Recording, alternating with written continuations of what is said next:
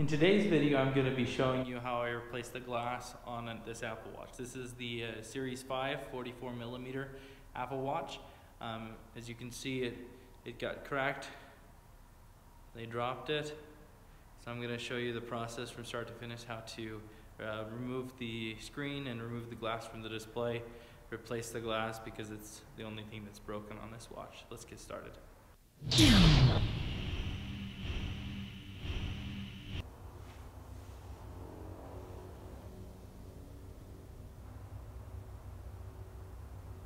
It's a little easier to see the cracks when you're uh, in the glass and where to go when you have a good light source.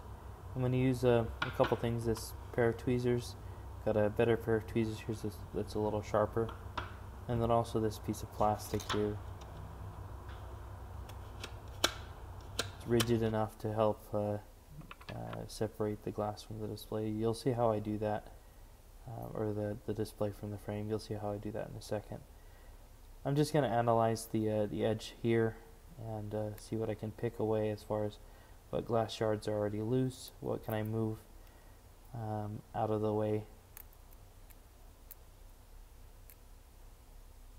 No, I've thought long and hard uh, about how I want to do this video um, because there's parts of this video that I could simply cut out. Um, but I think that there's a lot that can be learned if you if you stick through and watch the whole thing um, you'll see the uh, where things can go wrong and also uh, the, the struggles that, that can happen throughout. So here I'm going to pick at this piece of glass and I notice that it starts, it wants to move, um, but it uh, has a portion of the, the glass that's on top of the display. So here I have some isopropyl alcohol. I'm going to add a drop uh, into that crack um, and what this will do is it'll seep down uh, and touch the display and as it does that it's going to help loosen the, uh, the grip that the uh, adhesive has on the glass. And I'll be able to move that.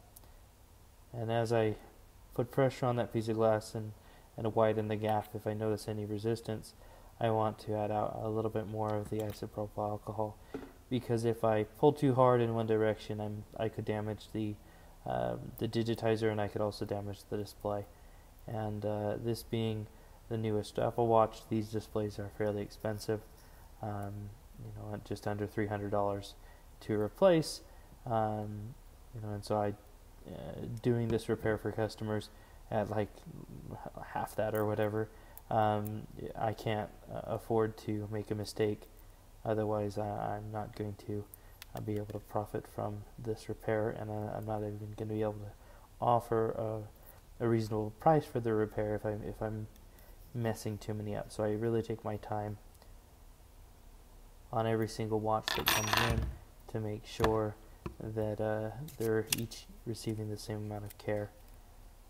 Now that I've removed the that piece of glass, it gives me a little bit of more access to uh, the edge here.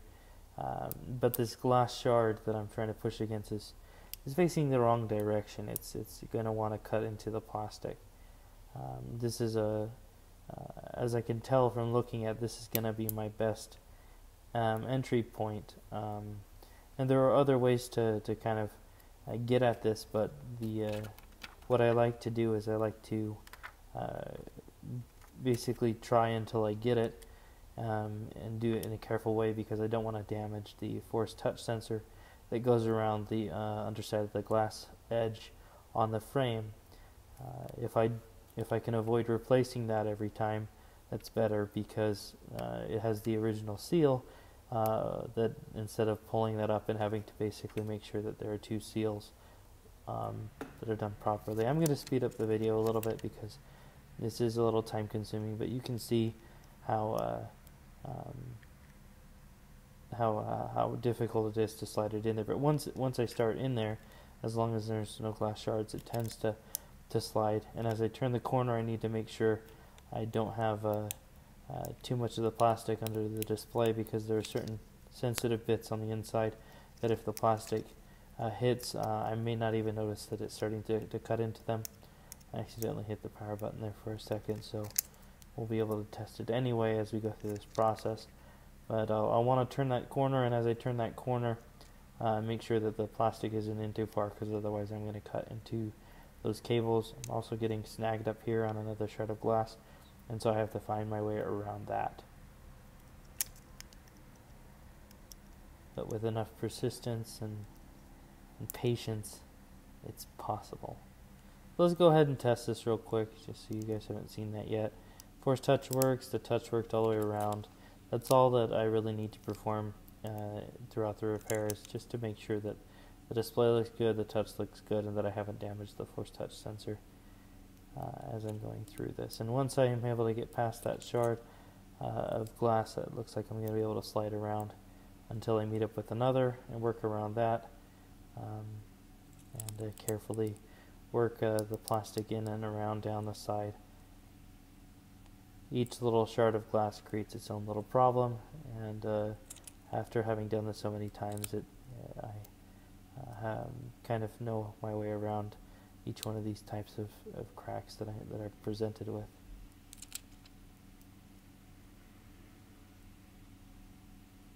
A little different sawing motions, the angle of the plastic, it all matters as, as you do this, the, the cleanliness of the plastic, if it has cuts or not. And the same thing as we run the corner, making sure that we only have enough plastic to get under there and then the screen is able to come off. You can see, maybe not see, but it's a Series 5 44 millimeter. I'll show you again later, but um, we'll test it again once we have it all the way off before we disconnect it to make sure that everything still works. With the light makes it kind of hard to see. But, uh, we won't be able to test the force touch right now just simply because it's not connected anymore and I don't want to risk pushing down on the screen at this point because I could damage it if I don't have it perfectly aligned. Adding a little bit of isopropyl alcohol uh, helps allow these uh, the adhesive to uh, come off and then also a little adding a little bit of um, isopropyl alcohol to the stickers here I'm able to pull them back. They are gentle, um, they're very sensitive so they do break um, and they're not too cri critical for the functionality of the device so I'm not too worried if I ever uh, accidentally cut that. Once I've disconnected the latches, I'm able to pull uh, those connectors out, and then I'm going to gently pull the uh, uh, each one of those flex cables away from the copper sticker. Uh, this is just a step that'll help me in the future as I go to connect it. Uh, the next thing that I'm going to need to do is clean up the frame, and I'll show you a little bit more of that um, uh, later in the video. Now this particular crack here, the way that it cracked, it doesn't leave me with, with much of, a, of an edge exposed. The glass uh, tends to line up uh, perfectly with the with the display and almost has a little bit of ridges of glass that come up um, a little too high for comfort. But uh, and as you can see, there's, there's multiple layers to this uh, this display. You've got the glass, you've got the adhesive, the digitizer, some more adhesive, then the polarizer display etc. It's a it's a it's a lot of components sandwiched into to such a small um, small display, and so uh, it's crucial to get this right. And so under my microscope, I'll be able to uh, insert the wire uh, manually before moving it over to my um, my heat plate, which will allow me to cut the display off. So under my microscope, I'm going to uh, look and I'm going to take the tip of my tweezers and kind of try to scrape away some of the teeny shards that are impeding me from putting the wire in and maybe some of the adhesive ensuring that I'm getting the uh, the wire in the correct layer. Now even though I have uh, better than 20/20 vision, under a microscope is recommended because uh, it's it's extremely difficult to um, to see because it's so small and so so so delicate. So this is one of those areas where things can go wrong.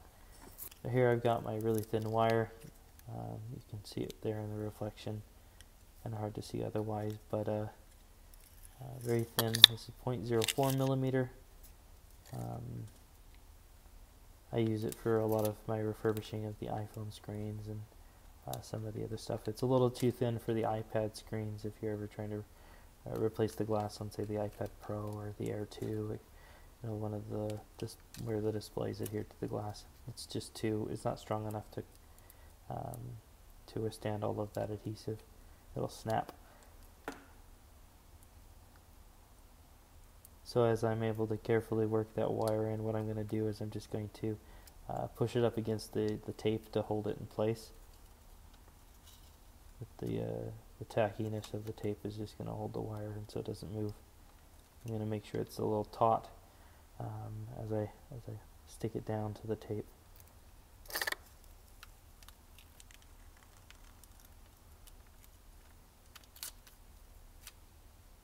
Double checking that it's all aligned. It's not going to start slicing into the digitizer. That looks good.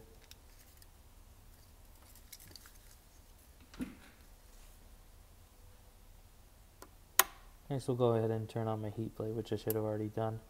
I'll remove uh, one of the older, um, I think it's a Series 4 that I just did um, for another customer. And I'll line up the uh, the new sc the screen that we're working on. I'll put the uh, turn on the suction there. And what I'm going to do is I'm going to carefully uh, make sure the wire isn't going to get caught in in the tape, and I'm going to add some more tape to the uh, to the edge of the tape because this uh, because this is so such a small screen it tends to, to move around and just uh, taping down the uh, the screen to the to the actual machine makes it so that even if it does start to slide around as the wire is pulling on it uh, that it's not going to pop off that easily.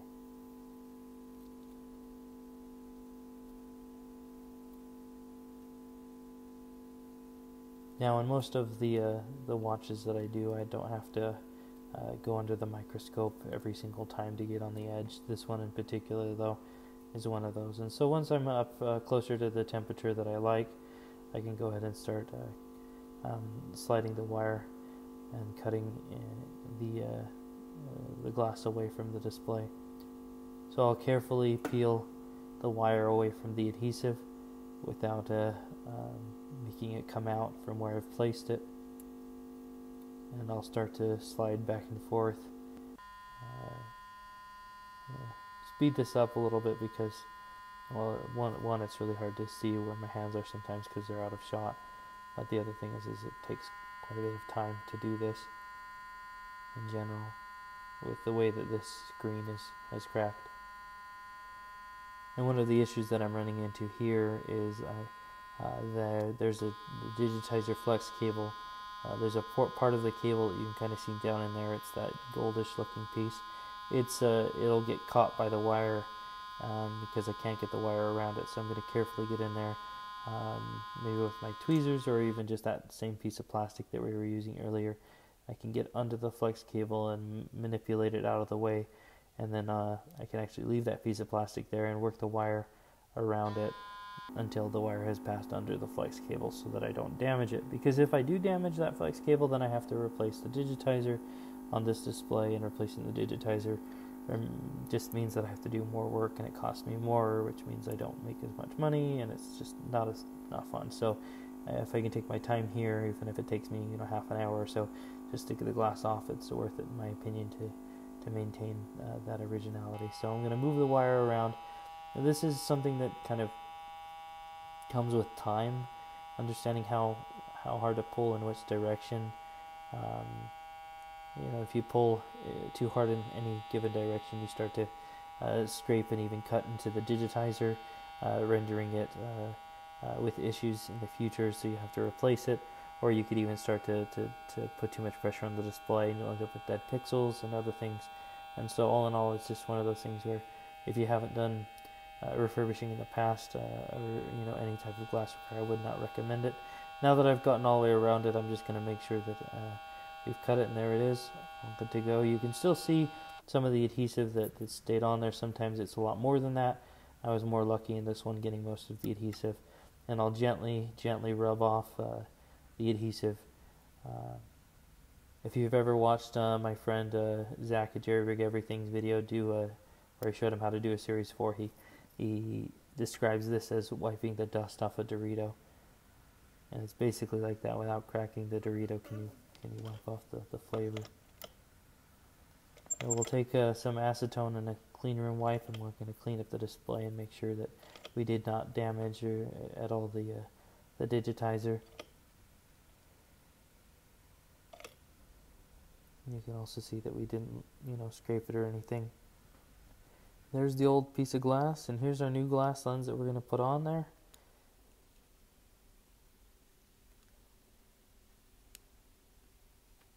Right here I've got a little wax uh, uh, tower that I put this on, and then we're going to clean up the display um, with that. Now I need to add some LOCA. LOCA stands for liquid optical optical clear adhesive. It's basically adhesive that um, stays in liquid form until the ultraviolet light hits it. Um, I got a bubble in there, so I'm going to carefully pick at that and remove it.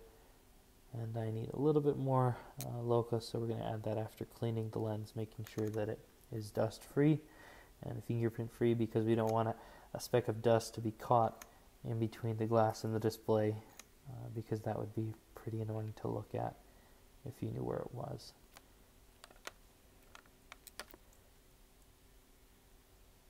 And carefully setting it down, um, I'll be able to get the adhesive to stick to the glass without uh, without bubbles. Now in this case, um, I, think I just waited too long and the LOCA spread out too wide, and I did end up getting a teeny tiny bubble. And I'll show you how uh, how I get that out later. I don't like it when I get bubbles in general because it means that I have to uh, put a little bit of pressure on the display, which means that the LOCA squeezes out more than I, would like it to, uh, which just it, you know it doesn't hurt it in any way. It just means I have to do more cleanup work. You can kind of see it running off if you look really carefully. It runs off the edge there.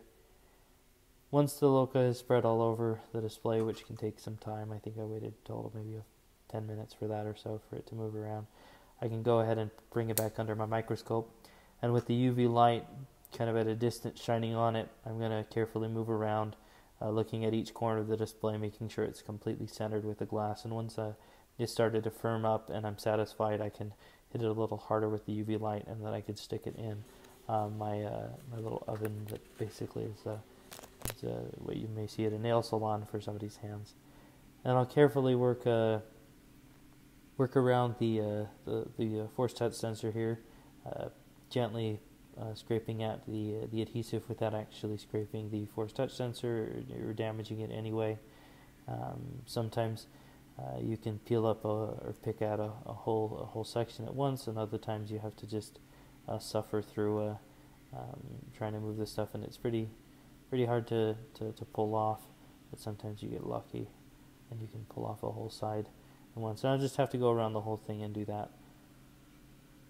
But I won't uh, bore you with all of that. Um, next thing I'm going to do is take a little bit of iso, um, in this case acetone. I'm going to go around the edge clean up the edge and any uh, any uh, spill out that the, the LOCA had from me putting pressure on it after it's cured. And once I have a good clean edge that I know that I can adhere to, I'll go ahead and uh, um, connect it. So uh, on the um, on each one of these flex cables, there's a little um, bar that basically goes across it in the shape of like a T uh, on the black part, and I'm able to use that to gently push in each one of the connectors kind of going back and forth between sides um, just to make sure it's all the way in. And then once that's done, I can gently push down on the connectors there and uh, get them to uh, uh, to snap down. And we'll go ahead and plug it in and test it. So far so good. Looks like we've got a overking display. Of course it looks dimmer right now just because of the lighting from the light above. Um, we'll simply run it through uh, the tests that I perform where I basically look at the display, test the touch, and test the force touch by gently putting it in place. If everything looks good, we'll go ahead and adhere it, and I'll show you how I do that in a second.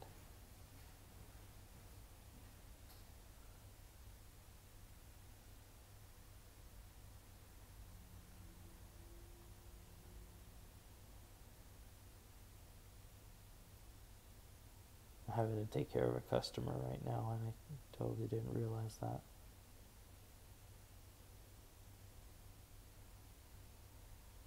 Now, if there's a video out there that you uh, you do want to uh, see me do something I haven't done before, an idea, uh, feel free to leave it in the comments below.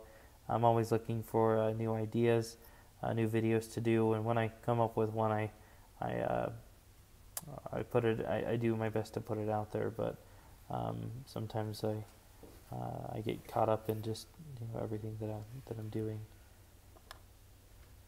All right, so easiest way for me to test a touch is to basically hold the power button down. It allows me to grab the uh, the slide bar and uh, uh, move it around the screen, and as long as the uh, as long as it follows my finger from corner to corner, and it doesn't ever uh, either turn off or um, or let go during the process, we're, then we're good. So.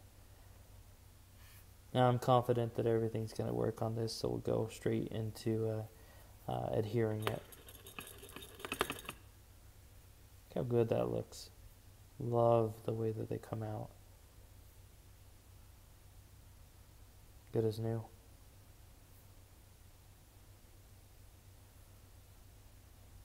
And I probably shouldn't put it back on the charger because I didn't want it to turn back on, but I, no, I'll turn it off. So there you can get a better glimpse. Series 5, 44 millimeter.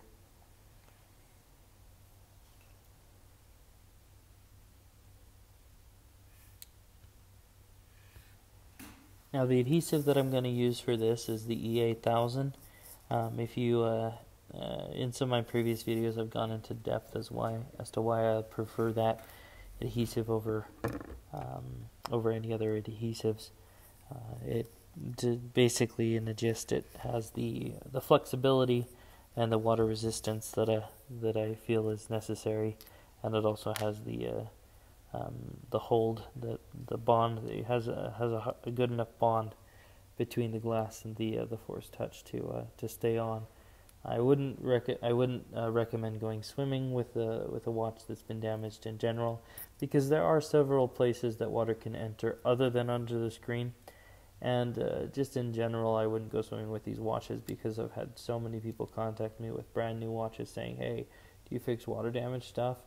Uh, you know, I've I've only had it for a month. It's not broken, but you know, I got it wet. So I'm going to carefully go around and add an even bead. Make sure that uh, I've got a, a, solid bead all the way around the force touch there. We'll line up the little antenna there on the back of that display there, and then we'll push it down. Once it's all uh, um, once it's down, we're just going to go over to each corner and make sure it's got a good solid uh, that it's all the way down and then I'm going to take a little bit of um, uh, acetone with a, a, cleaner wipe and we're going to go up, uh, ahead and clean up any of the, the seepage there, the spill out. Because uh, at this point it's uh, it's in its easiest state to clean. It hasn't yet hardened up. Giving it a nice finish. Cleaning all the edges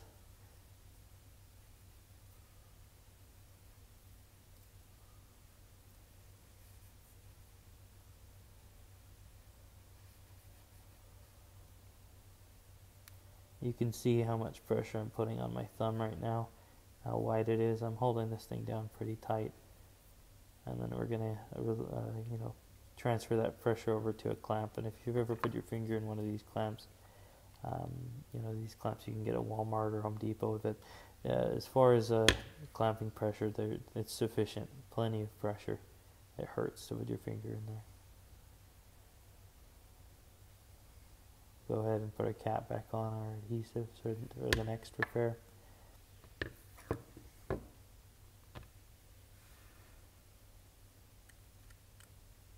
You might notice my desk behind there. I've, I've uh, in the past I did a, a little uh, a table with the, some of the screens that I've made, you know, with the epoxy covering it up.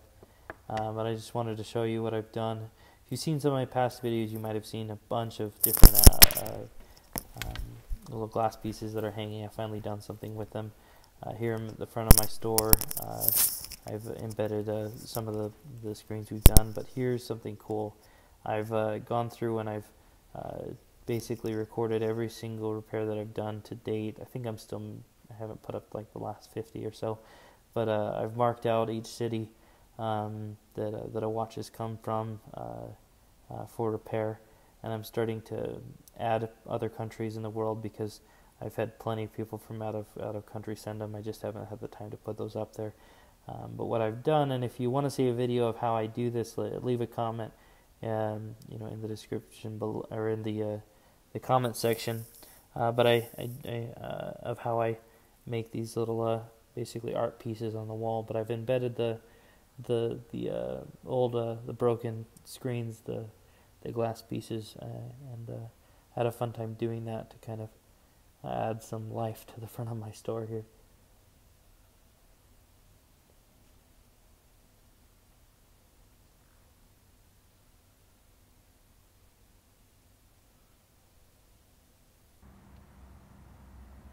Here it is, all finished up. I'll give you guys some close-ups of that, but uh, it's good to go back to the customer, and I'll be able to add a, uh, a new pin to the, to the mat back there.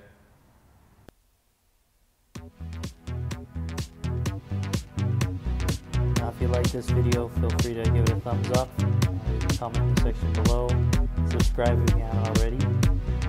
I like to put out content that, that'll help people uh, be successful if they, if they ever try these repairs. Thanks so much for watching.